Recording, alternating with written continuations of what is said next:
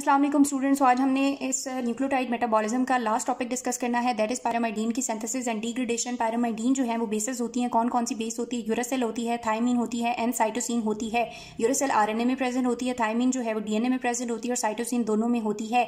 इस टॉपिक के अंदर हमने यूरोसिन या हमारे पास जो यूएमपी है, यानी यूरोडाइन मोनोफॉस्फेट उसकी सिंथेसिस को डिस्कस करेंगे। फिर ये देखेंगे कि uridine di monophosphate di and triphosphate में किस तरह से कन्वर्ट होता है। फिर इसी यूएमपी से किस तरह से हम साइटोसिन डाईफॉस्फेट एंड ट्राईफॉस्फेट बना सकते हैं। देन ये भी देखेंगे कि किस तरह इनकी इंटरकन्वर्जन से डिऑक्सीथाइमाडीन मोनोफॉस्फेट एंड डाईफॉस्फेट्स वगैरह बन सकते हैं। तो बेसिकली जो डिस्कस हमने डिटेल में करनी है, वो यूएमपी की सेंथेसिस है यूरोडीन मोनोफॉस्फेट की सेंथेसिस को डिस्कस करना है। इसकी और प्यूरिन सेंथेसिस का सबसे बेसिक डिफरेंस जो है, वो ये है कि प्यूरिन सेंथेसिस में हमारे पास एक ऑलरेडी बना बनाया मॉलिक्यूल था राइबोस फाइव फॉस्फेट और उसके ऊपर हमने फर्दर सेंथेसिस स्टार्ट की थी। लेकिन यहाँ पे कोई बना बनाया मॉलिक्यूल नहीं है, ठीक है? अब सबसे पहले सोर्सेज की बात करते हैं कि इस रिंग की रिंग के लिए कार्बन और हाइड्रोजन कौन डोनेट करेगा? तो दो अमाइनो एसिड्स हैं, बिल्कुल उस, उसी जैसे वहाँ पे भी ग्लूटामीन था, यहाँ पे भी ग्लूटामीन डोनेट करेगा, अमाइड ग्रुप और एस्पार्टेट भी डोनेट करेगा और कार्बन भी हम कहाँ से लेंगे? कार्बन डाइऑक्साइड से देंगे। प्यूरिन में ग्लाइसिन भी यूज़ हो रहा था, जबकि यहाँ पे ग्लाइसिन यूज़ नहीं हो रहा।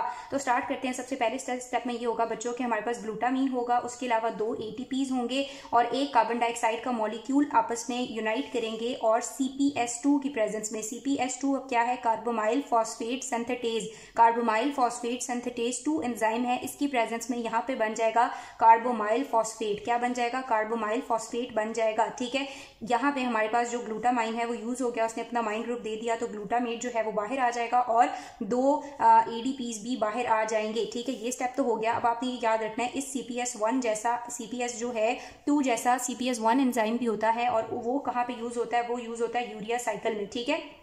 यूरिया साइकिल में सी पी एस वन की प्रेजेंस में भी कार्बोमाइल फॉस्फेट बनता है। फिर एक और बात जो इस पैरे में बनाई हुई है, उसने वो ये बताई हुई है कि हमारे पास जो कार्बोमाइल फॉस्फेट का नेक्स्ट एंजाइम है यूरिया साइकिल के अंदर ऑर्नाथाइन ट्रांसकार्बोक्सीमाइलेज अगर वो एबसेंट होगा तो कार्बोमाइल फॉस्फेट की जो सेंथेसिस है वो ज़्यादा हो जाएगी। सी पी एस टू के इन्फ्लुएंस में भी और सीपीएस वन के इन्फ्लुएंस में भी और ज़्यादा से ज़्यादा पायरेडीन सेंथेसिस होगी। ठीक है, अब नेक्स्ट स्टेप की तरफ़ चलते हैं। कार्बोमाइल फॉस्फेट के ऊपर एड होगा एस्पार्टेट ठीक है, ये जो दूसरा माइनो एसिड है, ये यहाँ पर एड होगा। होगा एस्पार्टेट जब ऐड होगा तो क्या बन जाएगा? कार्बोमाइल फॉस्फेट से बन जाएगा हमारे पास कार्बोमाइल एस्पार्टेट क्या बन जाएगा? Carbamoyl aspartate aspartate aspartate transcarbamoylase enzyme की प्रेजेंस में एस्पार्टेट ट्रांसकार्बोक्सीमाइलेज की प्रेजेंस में, और ये जो फॉस्फेट है, ये हमारे पास यहाँ से निकल जाता है, ठीक है?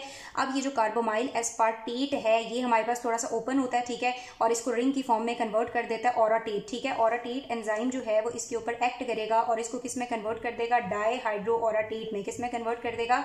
डाई हाइड्रो ऑराटेट में कन्वर्ट कर देगा, ठीक है? अब ये जो डाई हाइड्रो ऑराटेट है, इसके ऊपर होनी है डीहाइड्रोजिनेशन इसके ऊपर क्या होनी है? Dehydrogenation reaction dihydroorotate dehydrogenase की प्रेजेंस में और डाईहाइड्रो यानी दो हाइड्रोजन निकल जाएँगे तो सिर्फ़ क्या बच जाएगा? और टेट बच जाएगा, जिसको ऑरोटिक एसिड भी बोलते हैं। तो यहाँ तक आपको समझ आ रही है कि सबसे पहले बना कार्बोमाइल फॉस्फेट फिर बना कार्बोमाइल एस्पार्टेट फिर बना डाईहाइड्रो ऑराटेट फिर डाईहाइड्रो निकल गई डिहाइड्रोजिनेशन हो गई तो क्या बच गया? ऑरोटेट या ऑरोटिक एसिड अब जो ये तीन एंजाइम यूज़ हुए हैं, ये आपने याद रखना है, ये एक ही डोमेन के एंजाइम है।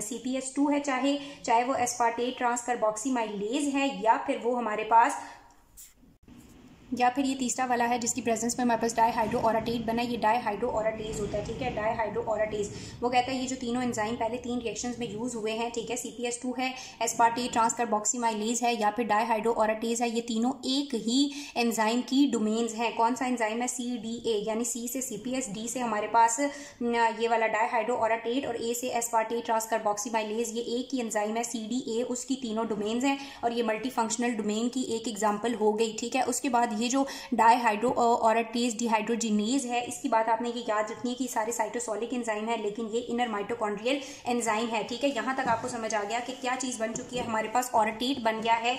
ऑराटेट से आगे क्या होगा? अभी हम साथ ही साथ बुक से भी इसको देख लेंगे।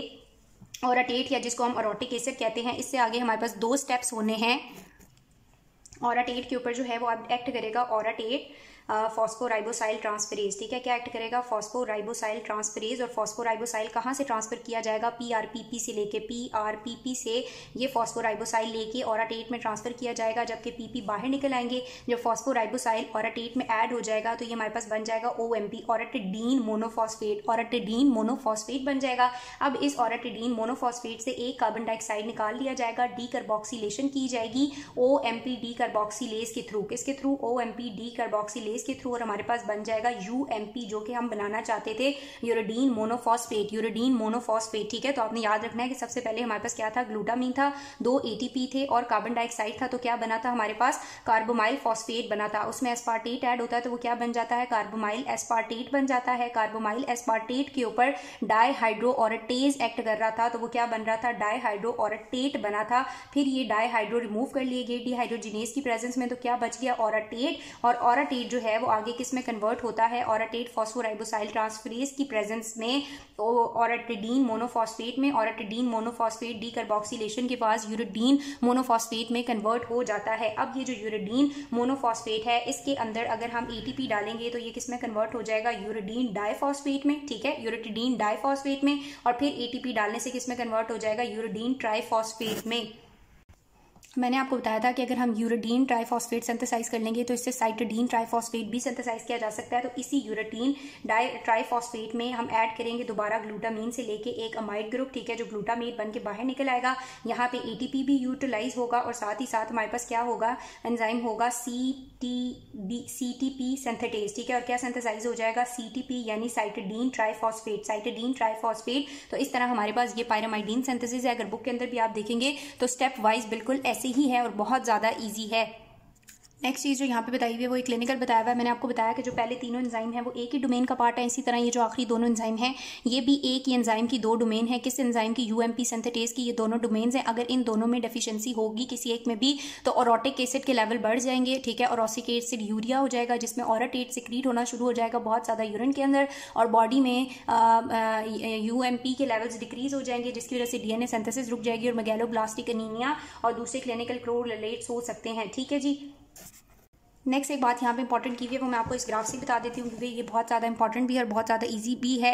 वो कह रहा है कि ये हमारे पास जो होता है ना डी ऑक्सी साइटोसिन डायफॉस्फेट अच्छा सिंपल हमने क्या सेंथेसाइज किया था हमने सेंथेसाइज किया हुआ था यूएमपी ठीक है, इस यूएमपी से हम क्या भी बना सकते थे, आगे जाके यूडीपी और यूटीपी और उससे हम क्या भी सेंथेसाइज कर रहे थे सी और इसी तरह ये हमारे पास राइबो न्यूक्लोसाइड्स हैं और इनको अगर हमने डीऑक्सी राइबो न्यूक्लोसाइड में कन्वर्ट करना होगा तो पीछे हमने डिटेल में पढ़ लिया है कि राइबो न्यूक्लोटाइड डक्टेज की मदद से डीऑक्सी राइबो न्यूक्लोटाइड में भी हम इनको कन्वर्ट कर सकते हैं। अब वो कह रहा है कि अगर आपके पास D oxy cytosine cytidine diphosphate है तो इसमें से अगर आप फॉस्फेट ग्रुप निकाल लेंगे तो ये साइटोडीन मोनोफॉस्फेट में कन्वर्ट होगा। और अगर आप उसको डी अमाइनेट करेंगे, यानी अमोरिया, अमोनिया निकाल देंगे तो वो डंप में कन्वर्ट हो जाएगा डी यू एम पी में कन्वर्ट हो जाएगा। Same as D U D P से भी अगर आप फॉस्फेट निकलते हैं तो वो भी डी यू एम पी में कन्वर्ट हो जाता है। अब ये डंप जो है थाइमिडाइलेट संथेटेज की प्रेजेंस में डी टी एम पी में कन्वर्ट होता है, यानी थाइमिडाइन मोनोफॉस्फेट में कन्वर्ट हो जाता है डीऑक्सी थाइमिडाइन मोनोफॉस्फेट में। लेकिन इस स्टेप में थाइमिडाइलेट सिंथेटेज के अलावा फॉर्माइल टेट्राहाइड्रोफोलेट भी चाहिए होता है। फॉर्माइल ग्रुप डोनेट करने के लिए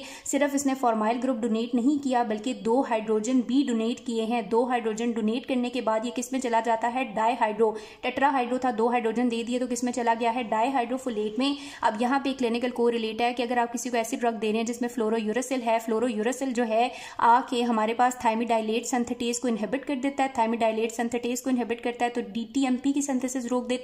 डीटीएमपी नहीं बनेगा डीएनए नहीं बनेगा डीएनए नहीं बनेगा तो आरबीसीज मेच्योर नहीं होंगे, वो मेच्योर नहीं होंगे तो अनीमिया डेवलप हो जाएगा। इसी तरह डायहाइड्रोफुलेट जब आया है तो इसको अपनी फॉर्म में दोबारा जाने के लिए क्या चाहिए होता है? यहाँ पे डाई हाइड्रोफुलेट रिडक्टेज चाहिए, जिसकी प्रेजेंस में दोबारा ये टेट्रा हाइड्रोफुलेट में कन्वर्ट होकर अपनी एक्टिव फॉर्म में वापस जाता है। तो मीथोट्रेक्सेट ये एंटी कैंसर ड्रग्स हैं। अगर आप ये देते हैं तो आप यहाँ पे डाई हाइड्रो रिडक्टेज को इनहिबिट कर देते हैं, जिसकी वजह से टेट्रा हाइड्रोफुलेट नहीं होता। टेट्रा हाइड्रोफुलेट नहीं होता तो डीटीएमपी की सेंथेसिस नहीं होती। फर्दर डीएनए की सेंथेसिस इनहिबिट हो जाती है। तो ये कैंसर एंटी कैंसर है और ये मेलानोमास के केस में मिथोट्रेक्सेट यूज़ की जाती है। किसको इनहिबिट करेगी? डाई हाइड्रोफुलेट रिडक्टेज को। और फाइव फ्लोरो यूरोसिल किसको इनहिबिट करती है? थायमेडाइलेट सेंथेटेज को। तो यही बात है हमारे पास प्यूरिन की सेंथेसिस में और जो सॉरी पायरामाइडीन की सेंथेसिस में डिग्रेडेशन जो है। तो बस ये बात बताइए कि जो प्यूरिन थी वो हमारे पास जो है वो डिग्रेड नहीं हो रही थी वहाँ पे ओपन नहीं हो रही थी। क्लिव नहीं होती ह्यूमन में और यूरिक एसिड की फॉर्म में रिलीज़ कर जाती है, लेकिन पायरामाइडीन जो है वो क्लिव्ड हो जाता है और मोर सॉलेबल प्रोडक्ट्स में कन्वर्ट होता है, जैसे कि बीटा एलेनिन या अमाइनो आइजोब्यूटरेट वगैरह, साथ ही साथ अमोनिया कार्बन डाइऑक्साइड भी होते हैं, जो फिर बॉडी से एक्सक्रीट कर लिए जाते हैं, या फिर पायरामाइडीन जो है वो सेल्वेज पाथवेज के थ्रू ये भी रिसाइकिल किया जा सकता है, लेकिन पायरामाइडीन की सॉलिबिलिटी कम है, इसलिए इसका जो सेल्वेज मैकेनिज्म है वो लेस इंपॉर्टेंट है एज कंपेयर टू प्यूरिन